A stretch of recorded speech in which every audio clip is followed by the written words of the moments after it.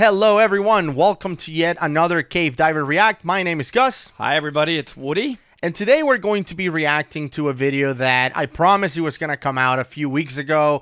Uh, a few weeks ago, I posted a poll in our community tab. If you're not a subscriber to Dive Talk, please go ahead and subscribe because we post on the community tab all the time. Yes. And one of the things that I mentioned on the community tab is I gave you guys an option whether you wanted to see uh, a story from Edd Sorenson versus see one of my videos doing Sidewinder training. And people voted for the Ed story, but I promised this one was going to come out. They voted for Ed over you. Who knew they would pick the best cave diver in the world over me? It's- Um, I would have. I voted for Ed. I think I would have so- voted for. Well, Um, anyway, so um, so today I want to show you the Sidewinder training video. Um, I added basically everything that Ed recorded from me uh, on the class. And I just wanted to give people just a quick summary of what happened. So I've been diving the Kiss Spirit, which Woody was my instructor for that. Do you remember He did a great job. Yes, I remember those. Um, and I've been diving with the Kiss Spirit, the my main rebreather, for two years. I got certified in 2019. We've been getting after it with the Spirit, diving a lot.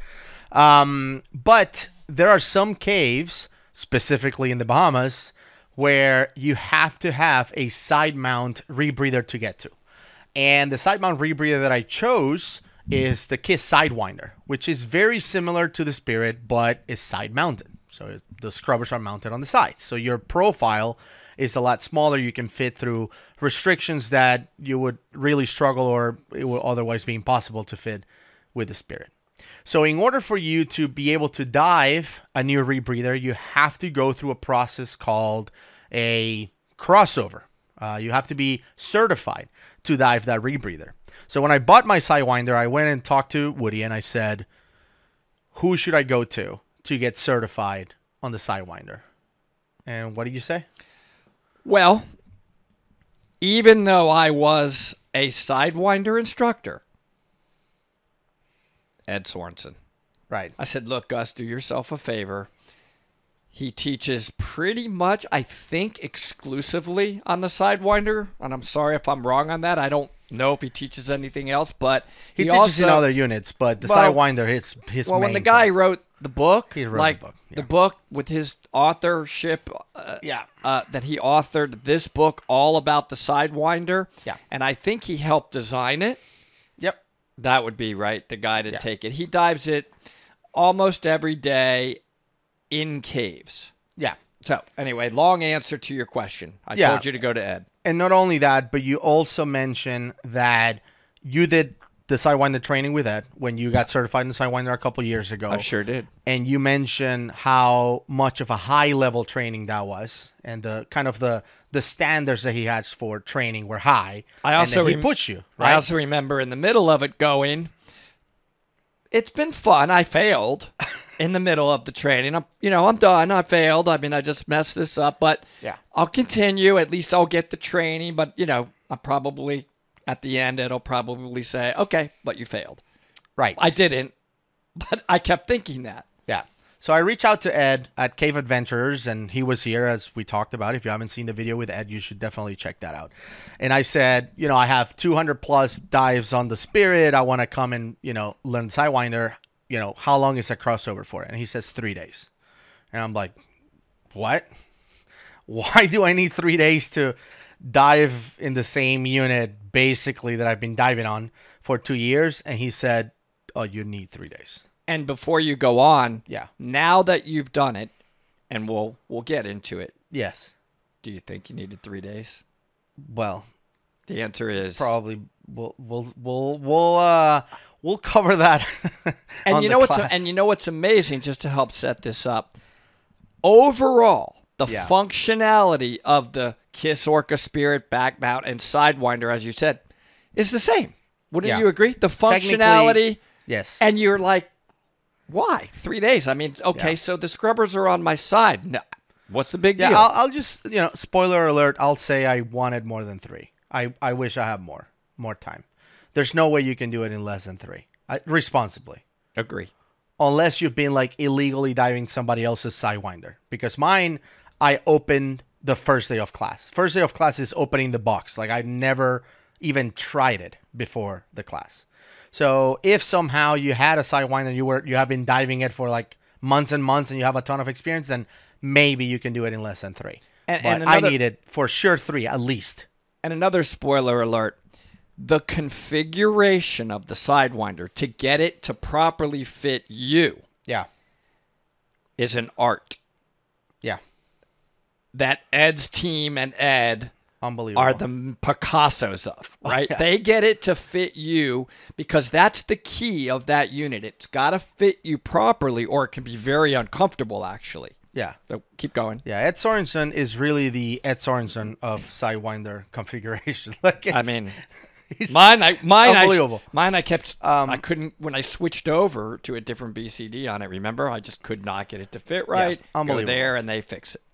So anyway, so I go down to Marianna, Florida, where Ed is located. Cave Adventurers is located, and I go to my training. Brand new cave, brand new unit. I show up, and within a day or so, I had the exact same thoughts you were having. I'm like, I think I'm gonna fail this class. Um, because Was that after day one? yeah, Yeah. after day one. I I I, I knew I was gonna fail. Like I, I wasn't even thinking like I think I'm gonna fail.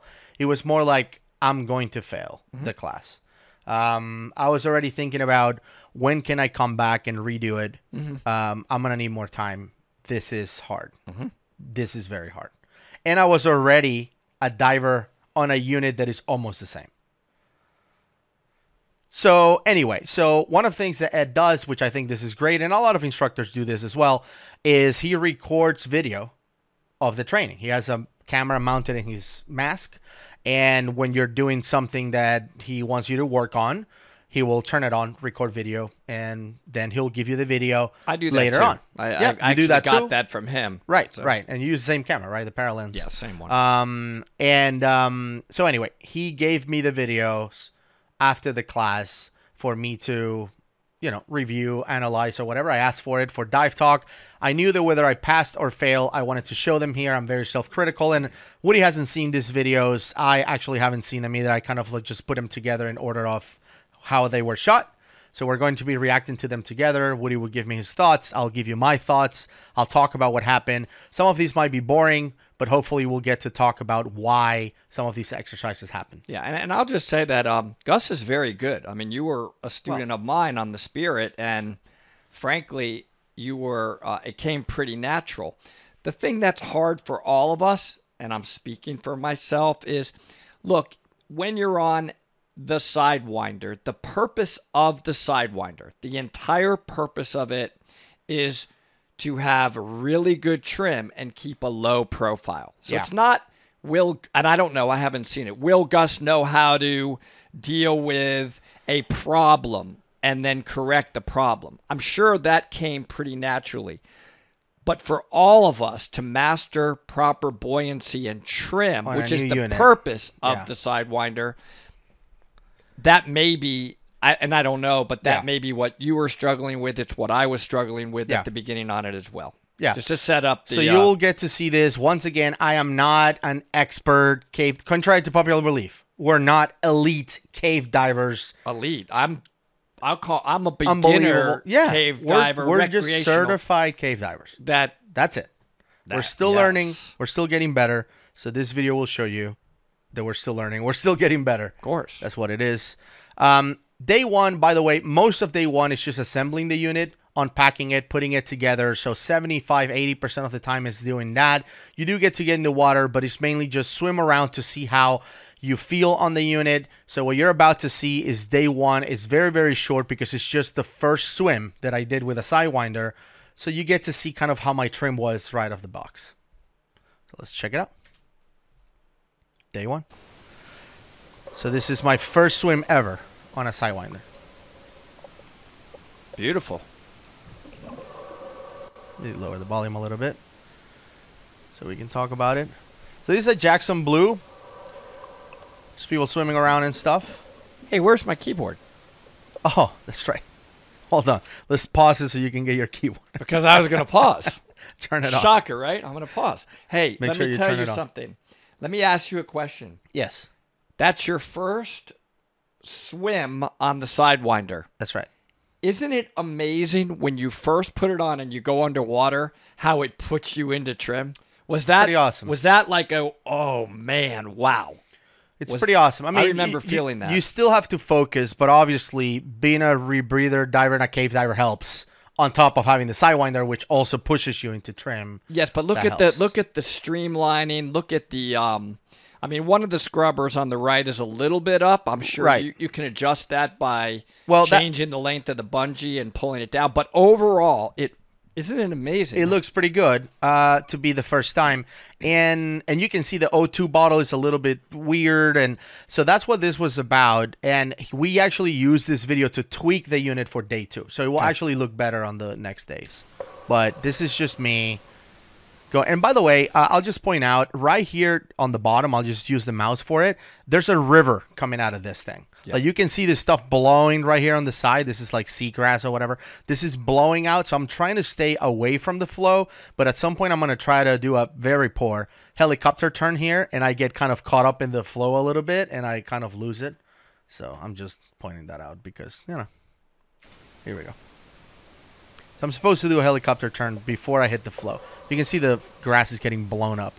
And I get caught up a little bit. My legs, at least. nice job. That's not easy to do. Yeah. But you see, I start going a little. Not super flat, but I thought it was okay for the first time. Yeah, I think that looks really really good job. All right. So see, he's he's saying that I am not flat, that I'm a little bit high. So he's just filming me. These are all spliced together. I mean, there's no rhyme or reason. All right. So that was just day one. It was Okay. just- One thing I want to comment on. yeah. You have, I just want to put it in perspective. You have potentially the world's greatest sidewinder diver instructor watching you. Yes. I- I mean, okay, there's three or four that could be in that world. I don't know if he's one, two, or three, but who cares? He's definitely in the top three. For sure. Okay. If I was evaluating you where he went like that, Yeah. I would not have done that. I thought, and this shows you why I said go to Ed. I'm not your instructor. I would have been like, that's really good. Why? Well, I didn't see any silting. You weren't hitting the top and you were maintaining buoyancy. Were you perfectly like this? No. Is it good that Ed is that detailed? Absolutely. Because I think we are in agreement, Gus. You and I have a commonality is that we're not afraid for somebody to tell us do better and this is why and what you need to do to do better or why Right. pay Yeah. for the instruction. Just go out and dive it and be don't listen to anybody. You know Yeah. better. So I want to put it in perspective. That's the level that Ed is going to give you instruction at. It's going to be that detailed. He wants you to be Ed. perfect. if possible, He's going to try perfect. to bring you to the highest level possible Right. throughout your entire training. And because of that, it can cast doubt in your mind. Wow, I was basically being told pretty much all the time to fix something, so I must have failed. I right. like to and, set that up. And I think and I think that's part of it. I think that that's what makes it also valuable if you do pass. Like, you know, if you do get the card from Ed at the end, I think it makes it it, it it's a confirmation that you earn it. That he you know, if he thinks you're good enough to deserve the card, then, you know, that's a that that's valid. So, anyway, so day 2 comes in, we make some adjustments. We're back in the cave, so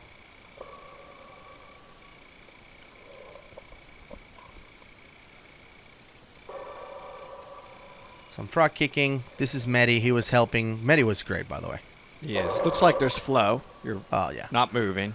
All right, so I want to point this out because this is when when Ed gave me a whole class about water dynamics and cave Oh, dynamics. and all yeah, he stuff. does that.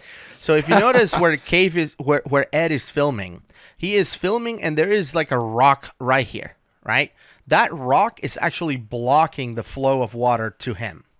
And what he told me is that he noticed that I have that I can do better when it comes to picking places to swim in the cave. And he's 100% right, of course, because you can see that I'm swimming in the cave. And yes, I'm in trim and I'm in the middle. I'm not hitting anything, but there's nothing in front of me. So I'm getting pummeled by this river. I mean, it's 190 million gallons of water a day. This is a really, really high flow. And I don't have the best frog kick, to be honest, and I'm pretty big as well, so the water is, is hitting me. But I normally can kick pretty decently. And you can see that I'm hardly moving, and I'm kicking hard and hardly moving here because I'm still learning about water dynamics and like the cave, um, the way the water moves in the cave. So you can see Medi and Ed are on the side being blocked, but you can see my bubbles, whenever bubbles come out, they get blown away. So here I am frog kicking, but I'm in the open cave. You can see, this is what he says. You can see the cave all the way to the end. He's, he's like, that's bad. You should always see like a rock in front of you. So, yeah, eh, trying to make some adjustments along the way. Yeah, look look where they are. Yeah, they're like right in front of a rock or something like that. Okay, that's me again. Nice. Good looking trim there. So while this is going mm. on, because I'm not really interrupting any dialogue, hey, See, like he he's Oh, telling he's saying Medi, don't like he just kicked twice. I saw that. two flutters, He and don't he was that. like, nope. I saw Like- that. Did you see that? hey, so let me ask you a question. On the Sidewinder, I'm noticing that you have a, I guess, a safety reel or a jump reel Yeah. on the back, and the loops are on that's the Katana 2. The loops are kind of um, they're high up. They're not down low by your butt. Yeah, Do you have any problems reaching that? no. Okay, I I do. I mean, I don't do it comfortably, but I can reach him. Okay. Yeah, That's good. I I I have to even on that one, I still have to kind of lean a little Hmm. to reach it, which isn't perfect because as I'm leaning, I'm sort of changing my trim, which could cause you to lose buoyancy. and a cave like this with high flow, it can toss you around. Goner. Yeah.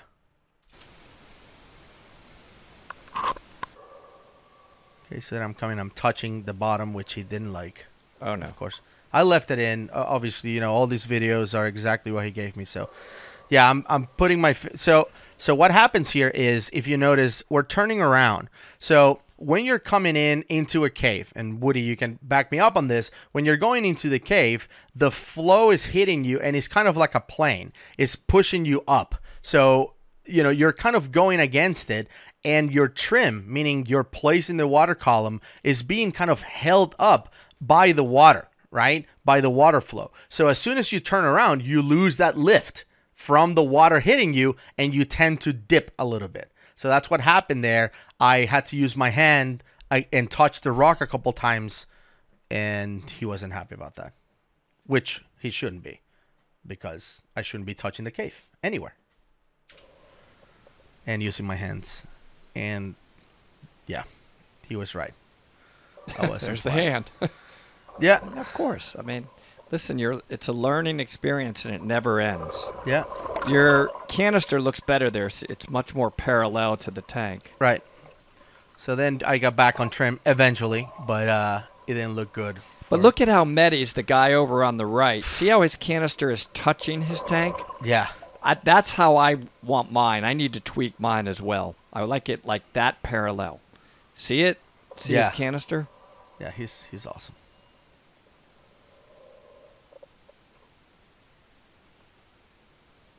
He doesn't like that slight angle.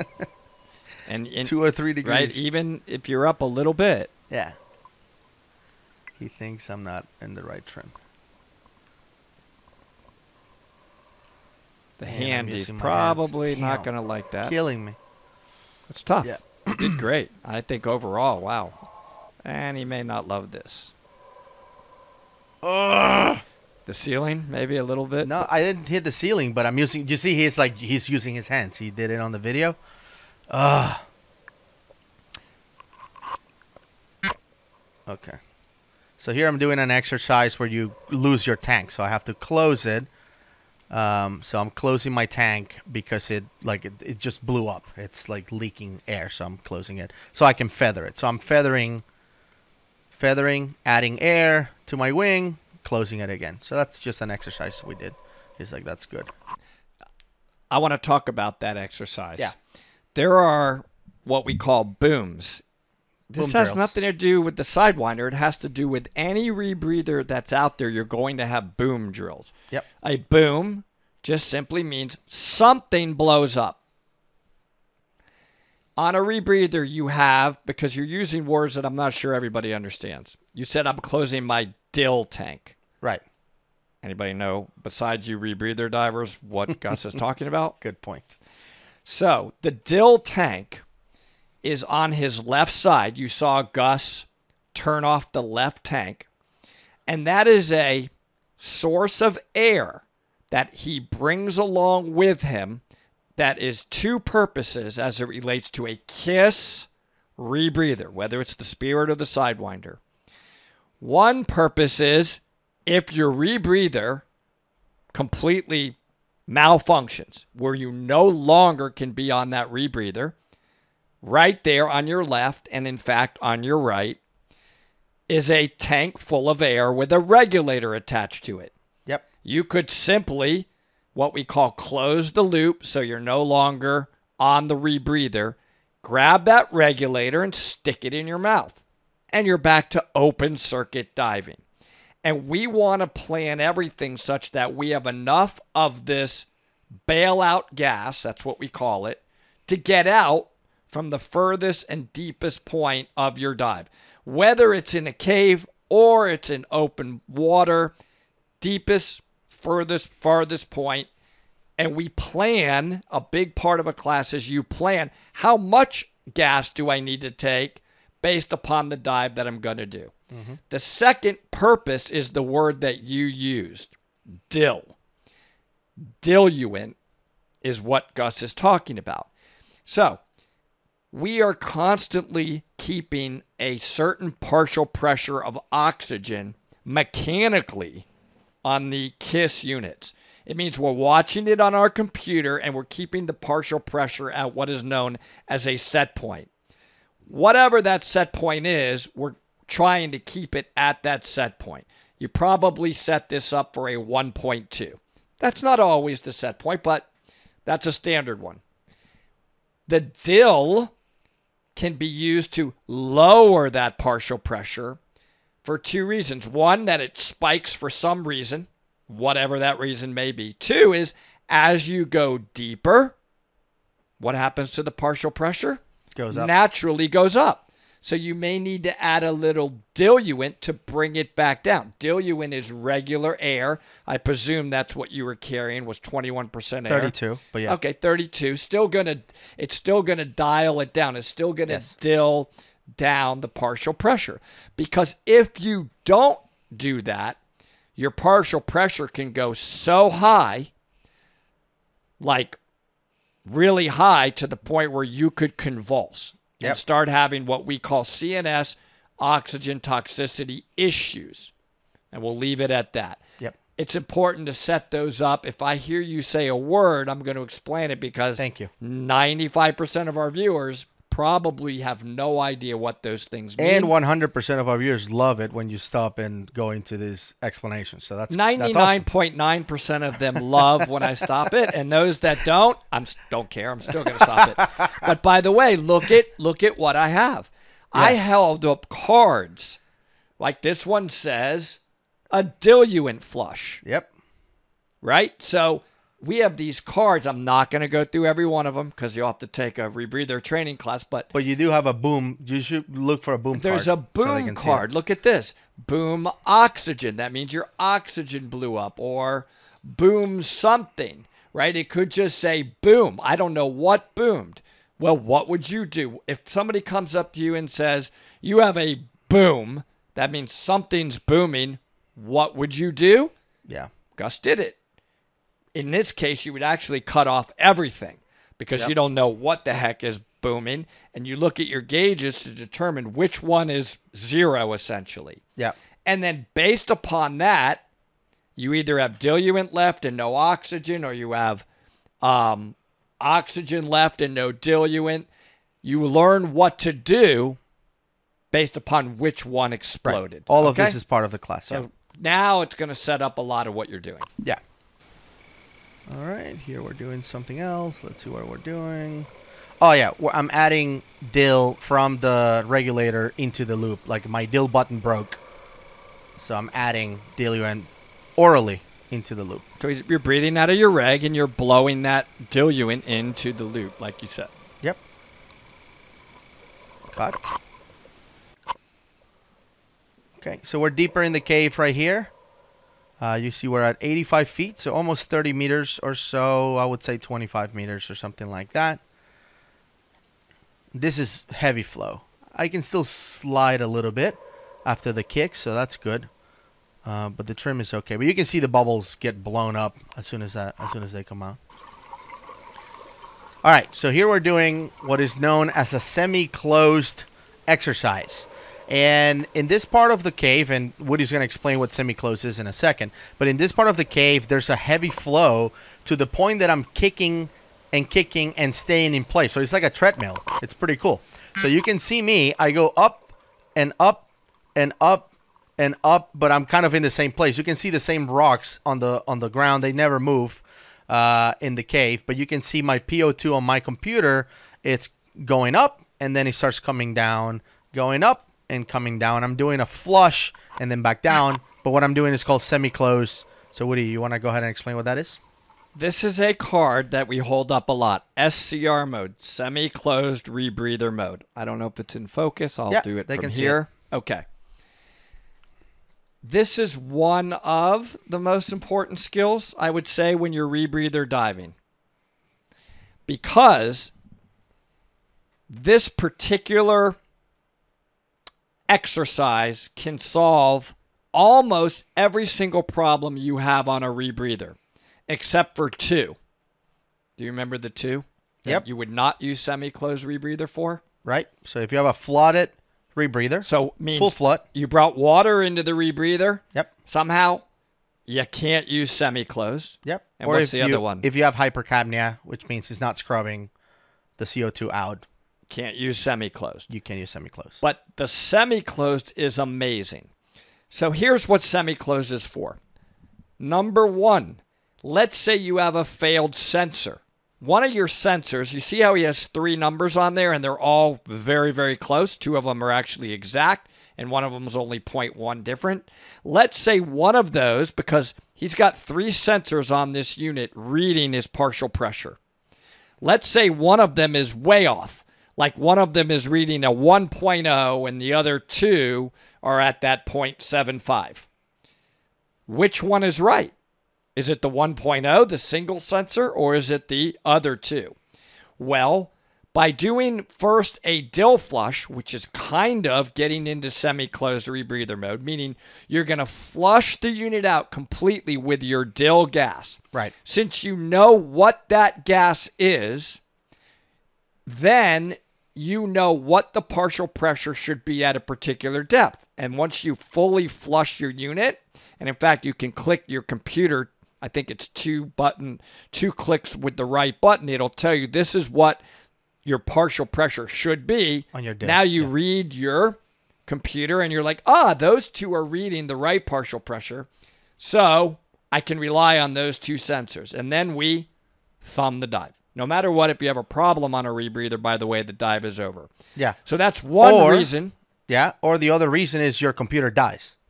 your computer dies. Yeah. Right now, you, now you for sure you got to be basically at that point. I I probably would bail out. I'm just I think I would bail out, but anyway, that's that's debatable. That's a tricky one. All right, the second overall reason, staying high level, everybody. There's many other reasons we'll get in the comments, and that's great. We want you to put them in the comments. But a big one is what an unbelievable gas extender. Hmm. Now, I did a video, I don't remember when, not too long ago, where I demonstrated it here.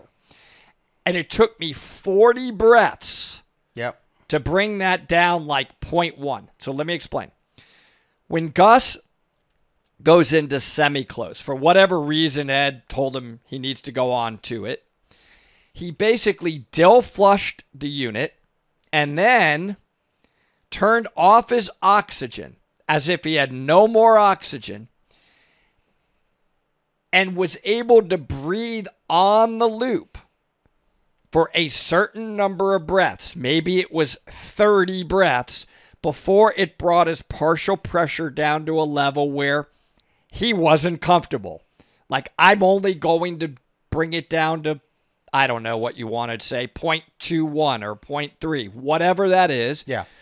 But if he starts at that 0.76, that may have taken Gus 30 breaths on that loop or 40 breaths. I'm making that up. Yep. To bring it down to a level where he's like, up, I got to bring in more dil again to bring it back up. So think about that. That extended that gas by 30 times. Yep.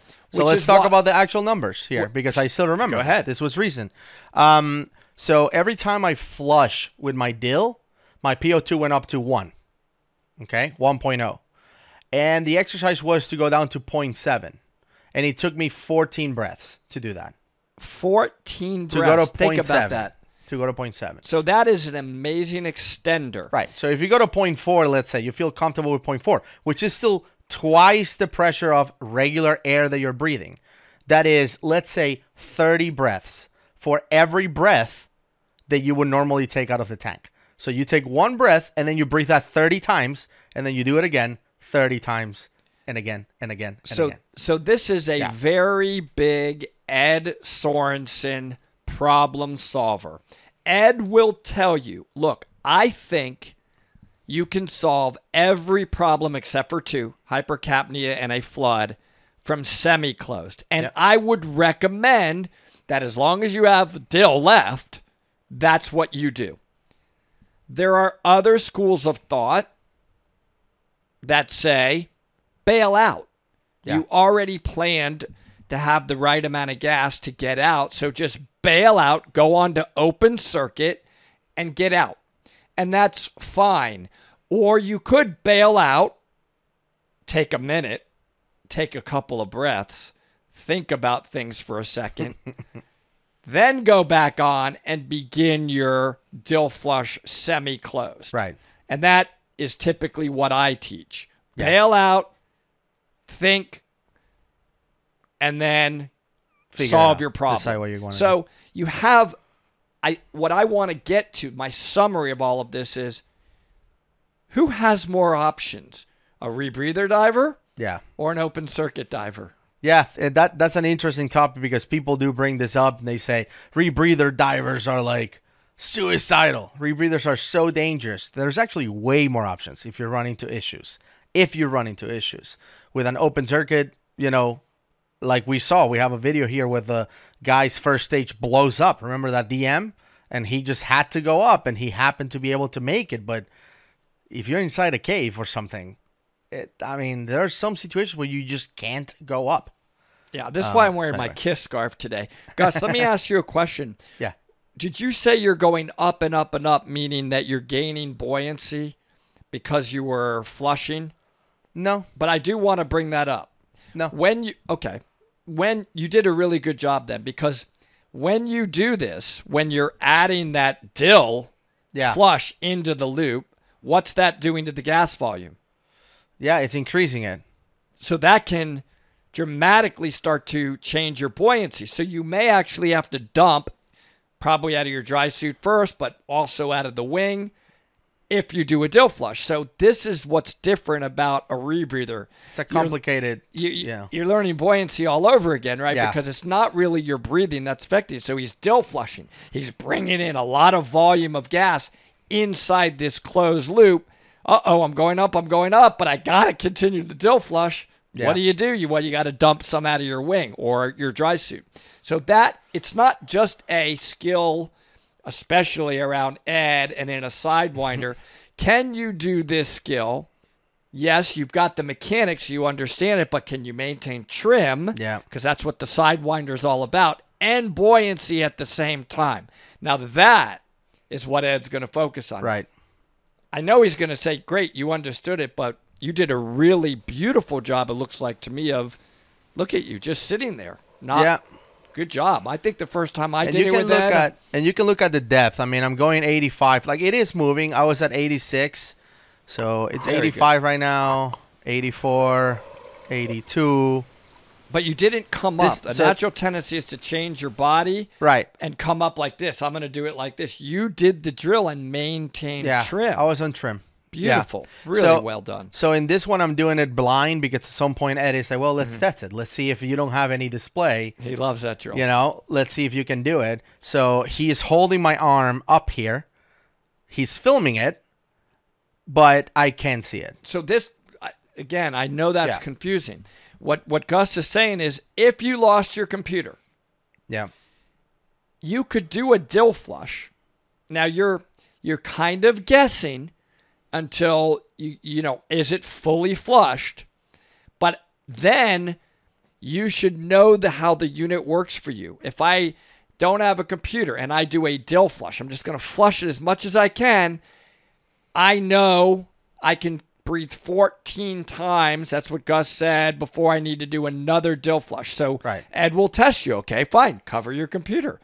breathe 14 times. Did you Yeah. get down to what you thought you were going to get down to? Yeah. So that's where Ed will say, "Why would you? And he- why would you bail out if you can If you can do even blindly with no computer do semi-closed?" Yeah, and he did tell me that if I didn't do this right, we were gonna do it until I got it right. Yeah, I remember this drill, and um, Yeah. So I, well, I did it, and fortunately he'd recorded the whole thing. And uh, see, so I flushed to 1.0, 1.02. So that was good. That was a good and flush. you're not looking at your computer there. No. Yeah. And I went down to 0.79, 0.78, something like that. So I actually got it right the first time. Me too. I remember, Yeah. be- believe it or not, on this drill, that was one of the ones that I nailed the first time. And he likes you to nail this one because he's trying to say, you see how much knowing the unit helps you? Like Yeah. Ed's always about the why behind Right. the how. And after day two, he, that, I think that was the day that he gave me the best feedback. He was like, "You look like a rebreather diver out there." He told me. it's like, yeah, that was good. Like Well- you, you look good. I didn't, I didn't fail any of the uh, skills. We did several. Do Like I, get a little love for that? I had, yeah, of course, you deserve all the credit on that. But I, I, uh, Not all the credit. Not all. Ninety-five percent. No, I'm I just did. kidding. I Good did all the skills, um, you know, adding to the loop and doing the semi close and all that stuff, and that was fine. Day three wasn't as smooth. Okay. That that's when day three I was back at I'm gonna fail the class. So let's watch. So day three was more navigation. Uh, we did do a couple of exercises, but it was just more about just swimming in the cave, you know, and just trying to get the trim right. Um, so here I am swimming with Medi and still struggling because I'm still not getting the whole thing. Okay, so this is an exercise that we do. So I think this is the one that I did the worst. Um, so for those of you watching, the exercise that I'm doing right here is something happens to my mask. It blew up, it got blown away, whatever. I'm not gonna go find it. So in cave diving, we actually dive with two masks. We have a spare mask. I happen to have identical masks. I bought two that are the exact same. So here's the thing: you have no visibility. You just lost your mask. I have my eyes closed the whole time. So even though this was fresh water, I didn't want to cheat. Um, I had my eyes closed. So the point is, can you retrieve the mask from wherever you have it? And I didn't want to cheat. I had it on my pocket where I always have it. Um, so I didn't want to like put it right on my chest so it's easy, right? Um, can I get it out of my pocket while not losing the goal line? So I have the line on the cave while maintaining buoyancy, meaning not crashing into the ceiling or going to the bottom, while maintaining trim, while not getting blown by the flow. While this is very hard to do, While Ed, the best cave diver in the world, is watching you and judging you. and you're nervous, Right. brutal. And I think I'm failing the class. I I think this was the moment that I was pretty much like this, Yeah. rather than like this. So, So this I was would- same. So this was a total disaster. So let's watch. But is it really? And then go ahead, and then I'm going to comment Okay. on the other side of that story. So this was the worst one. I, I'll, Okay. the, of all the skills I did, this was the, my worst. All right. So I'm holding the line, as you can see. I'm retrieving, but you can see I'm almost. I'm not vertical, but I'm like I'm bad. Trim is bad. And I'm trying to kick because of flow. Trimming my mask. Not watching. And it's hard to know if you're sinking or going up without opening your eyes. I'm just going by feel.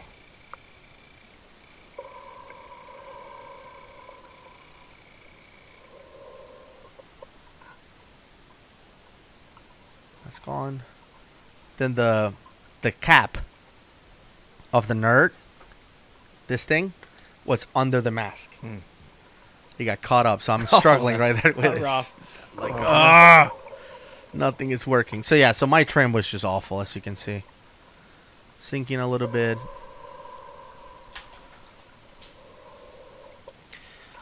And then, I mean, once I have my mask on, I, I got it back together. But that wasn't good. That was it. Okay. Now, I'm not Ed. I'm not in his league, and he, for all I know, thinks I'm probably not a very good diver. So I'm going to comment as Woody. If in that situation, right there, that was real, and Gus lost his mask, found his mask, never let go of the line, would Gus at that point have been safe? It's just a simple yes or no. It's either yes or, and the no is he's not safe and potentially going to die. The answer is absolutely yes, he's safe. Did he have perfect trim? Was he flutter kicking a little? Good. Let me see 99.9% of all cave divers do this drill, and we'll see. I'll watch them. You see, there's a difference between perfection and safety. And perfection is something that I think cave divers are always working towards but never get to. Safety, we can't not have. Safety means you can't certify somebody. You're not safe. I can't give you the card. I don't feel like you're safe. Perfection is I want you to be, like me, the greatest cave diver in the world. I say, wow, I would be high fiving him and say, good job. That's how I would have handled the positive reinforcement of how you did that skill because you did a really good job. Because you were safe, you were controlled, you weren't panicked, you didn't lose the line, you got the mass back under control, you dealt with another unintentional problem, Right. still didn't panic, and new mask is on your face. And now i presume you lost the other mask. We're going to say that's the case. So that's a thumb the dive. Remember any problem means the dive is over. That's exactly what we did. So here we're actually exiting. So if you notice when I when I put the mask on, I was going against the flow. That's why I was kicking to go against the flow, but the dive is over, so we're actually finishing. This is the last thing we did to finish the class. So Medi, he is another instructor at Cave Adventurers, great guy. He is actually uh, exiting, and I'm following him with the new mask on. I think I already put the mask away, the other mask away, but I'm supposed to exit, and they go through a tight part of the cave, and I'm supposed to not touch anything. That that's the end of the class. So oh is that coming yeah, and did they before you do it did they touch anything no, of course not. they're, perfect right in the middle of it Yeah, okay yeah. This is they're legit. I'm just there. Fortunate to be next to this guy. So okay, so Medi hits forward, and Ed is like, "You follow him." So I'm like, "All right, oh and this is the ending this is it." This is all gus has to do is get out cleanly Yeah, that's all you got to do to get That- through this that's it. while ed is there filming Yeah. in, in a tighter section off to the side he's filming you Oh, he gets worse. no i'm saying ed is Oh no, he's he's in the open, but Okay. yeah, it's. Um, I I assume he can make it through that tight section too. Well, right now you look beautiful, I, right? Everybody out there, look at him. Look at Gus flowing. By the way, isn't it nice to have that flow behind you? Oh, that's he awesome. barely has to kick. Look at him. so this is so this is tight tighter and is up and down too. So it's meant to like let's put it all together. Let's get out of this cave through a tight section. You can see he's starting to get a little tighter. Don't mess anything. And you can see he's kicking and he's dropping silt from the ceiling. But uh, my job is to just Look get at his- out of there. Look at his little baby flutter kicks. See, see his little. I don't Those are really beautiful. I know Eddie's watching, so I just like You don't want to do like- anything. It's like when you're doing the driving test, and you just Mm-hmm. you want to just be perfect. Ah, you look. I haven't seen anything yet that's really nice.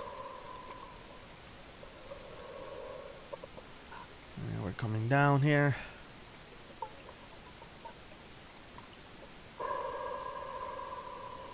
You're dumping. Nice.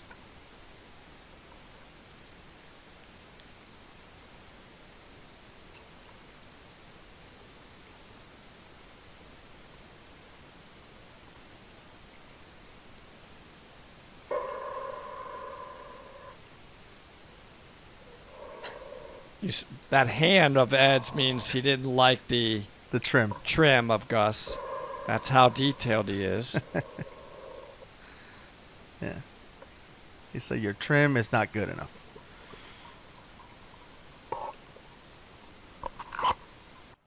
That's it. okay, but you did it. You got out very nice. Yeah, right after that, there's the exit to the cavern. Uh, we got out. Um, I still didn't know. Like I, I thought I, I'm like thinking about like when am I gonna come back and Mm. actually finish the class. We went back to back to Cave Adventurers, review the video. He told me again, you need to still work on your trim. It can be better. He, I like the fact that he looks at me and he's like, you can do better than this. And I agree with him. I mean, I'm like, I know I can. I can get better. Um, I, I agree with you as well that even though it's not perfection, I felt pretty safe, you know, out there. Um, and you know, at the end of the day, he just like I, I was gonna ask him when can I come back, and he was he was just like, congratulations. He just shook my hand and told me I passed. Well done. I think Yeah, absolutely from what I'm seeing here, I'm up yes, for sure. Using a DPV is a little trickier. For sure. But yeah, I was uh, I was really excited that Very nice. I took the class with Ed, and I was able to do enough to uh, deserve it. And the fact that he, you know, let me have the video so we can share with everyone out there, so they can see that we're not perfect by any means. We're not elite. We don't claim to be. We don't tell people we're the best in the world. These guys are the best in the world. Yes. We just We're like I- happy to be able to Yeah. dive with these guys. I mean, I call us um it's a bad word, recreational cave divers. I don't know what else to call. It. We we we cave dive less than I do. I cave dive less than I dive in the ocean. Right. I prefer diving in the warm ocean water. I enjoy cave diving. I love the skill of it, but it's hard. It really sure. is. And if you aren't doing it regularly, you need to practice a lot. You need to get in and practice before you get back in a cave and go way back. For You sure. know, if you haven't done it in a few months, do a short cavern run and practice before you get back into the cave section. Uh, and I'm speaking for myself here. Yeah, for sure.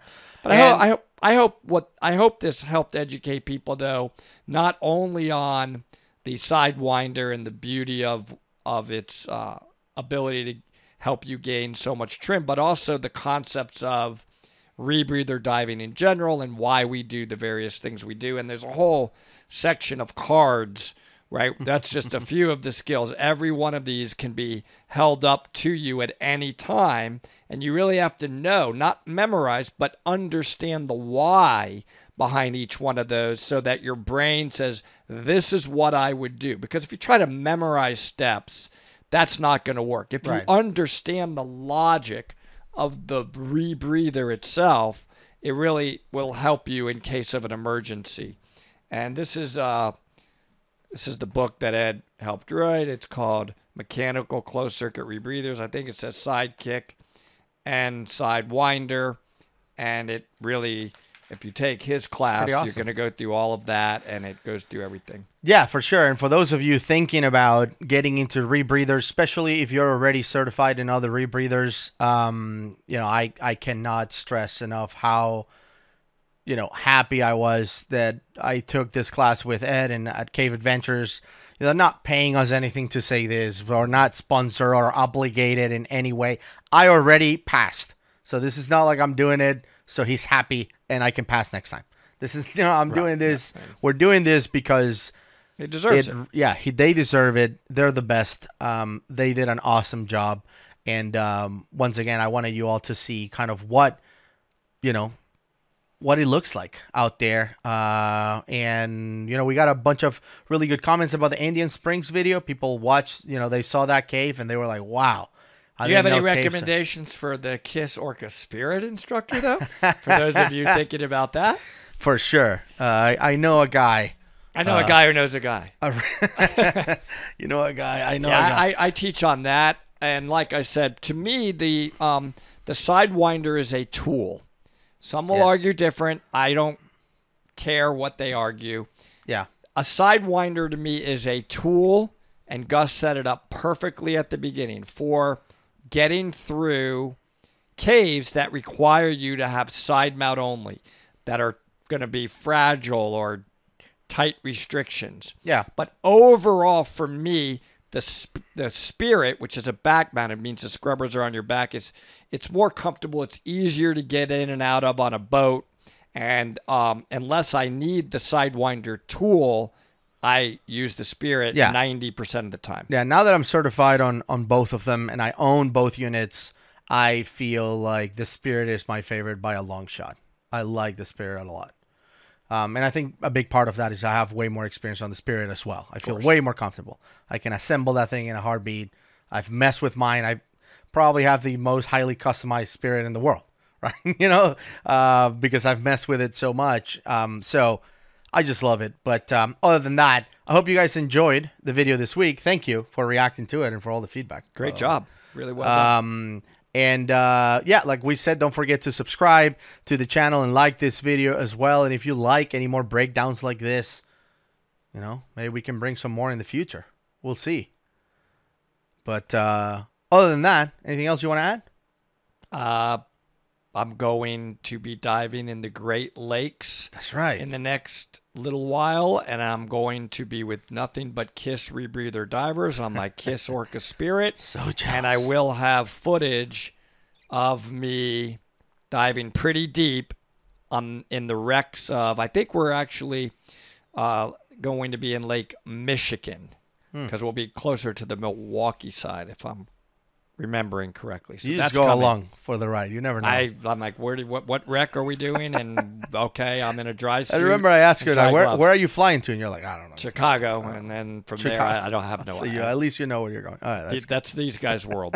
they invited me to go, so uh, I'll have footage of that that we will post. All right. Well, thank you everyone for tuning in, and uh, we'll see you on the next one. Take care.